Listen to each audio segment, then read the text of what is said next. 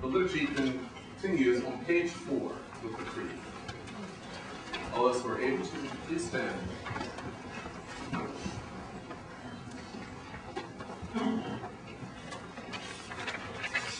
Let's say together, great indeed we confess is the mystery of our religion. Jesus was manifested in the flesh, vindicated in the spirit, seen by angels, preached among the nations, believed on in the world, taken up in glory. Therefore let us leave the elementary doctrine of Christ and go on to maturity, and lay again the foundation of repentance from dead works, and faith toward God, with instructions about ablutions, the laying on of hands, the resurrection of the dead, and eternal judgment. By this we will know the Spirit of God. Every spirit which confesses that Jesus Christ is come in the flesh is God. God should promise to hear when we pray in the name of Christ. Therefore, in confidence and trust, we pray for the church. O God, our God, enliven the church for its mission.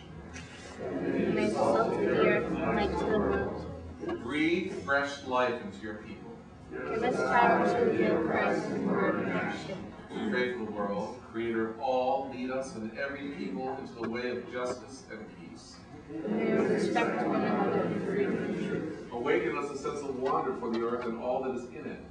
Teach us to care creatively for its resources. Pray for the community. God of truth, inspire with your wisdom those whose decisions affect the lives of others. Lord, we act with integrity. Integrity and courage. Give grace to all whose lives are linked with ours. May May we serve Christ and one another and love as Christ loves us. Pray for those in need, especially those who have asked for our prayers, whose names are listed here. And all others whom we remember at this time, either silently or aloud.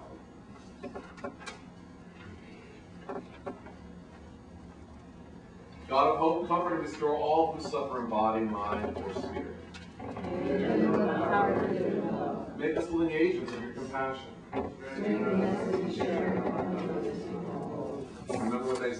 Those who have died in the faith of Christ and all others whose faith is known to you alone, especially John Uvea, Mary Rizzo, and Ivan Christofidas, and all whose names we bring before you as we now speak them, either silently or aloud. Loving God, Into your Hands hands we commend them, give comfort to those who mourn. Bring them peace in that time of loss. Praise you for all your saints who have entered your eternal glory. We pray for ourselves and our ministers. O God, you have called us to serve you. Grant that we walk in your presence, your love in our hearts, your truth in our minds, your strength in our wills, until the joy of our homecoming and the welcome of your embrace is alive in us through Christ, by whom and in whom all things are possible. Amen. Let us confess our sins. God of loving heart, we confess before you those places in our hearts where we refuse to do anything. People we have refused to love, habits we never get around to changing, good things we have left undone. Come to us in the light of Christ. Shine those places we have hidden from you. Safely in the rooms of our hearts, that Christ may find a home among us. Amen. The cross of Christ, may God have mercy on you, pardon you, and set you free. May you come to know that you are forgiven and be at peace. May God strengthen all goodness and keep you in life eternal. Blessed are you, God of all creation. Through your goodness we have these gifts to share. Accept and use our offerings for our, for your glory and for the service of your beloved community. Hymn 487.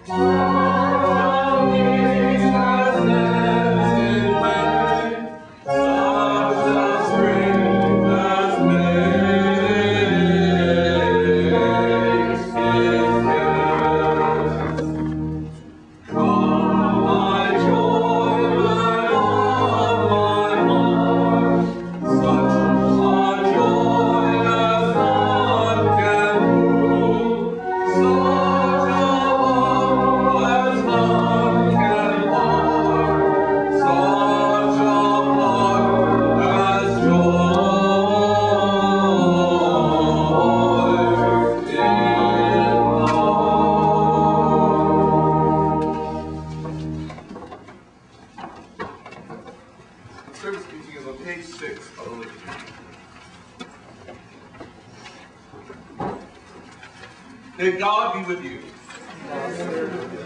Lift up your hearts. Let's give thanks to God. Gather now, dear friends, around the banquet table of Christ. Come from near and far, from the familiar and the unknown. We are invited to this feast by Christ, who has opened the invitation to you and to me, not because we have earned it, but because it is a gift of God's mercy and grace. Come as you are. God does not rely on human division and prejudices, but welcomes all who yearn to be whole, who see in Christ Jesus a pathway to hope for the world. Open your arms to embrace the abundance which Christ's resurrection embodies. Bring gifts of thankful praise and offerings from your heart so that Christ's work in the world might be made real through the work of this congregation. and a thanksgiving for all that we've been given by God, we know to be a loving God. We offer our voices in praise and thanksgiving with a chorus of angels throughout all time who join us in singing.